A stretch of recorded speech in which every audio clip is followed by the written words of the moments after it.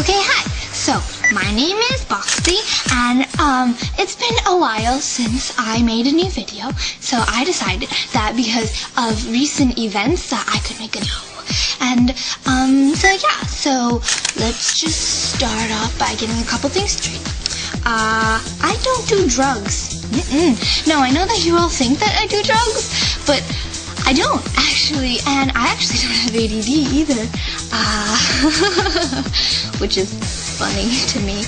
Um, yeah, and then another one would be, um, I provided you with a couple different pictures.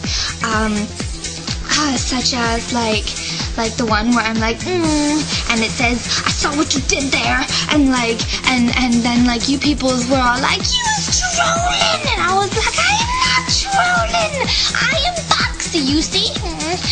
and like, um, and so then, uh, and then there was another one where I was like, mm, and um, I didn't have any eyeliner on, which you edited a couple of different times.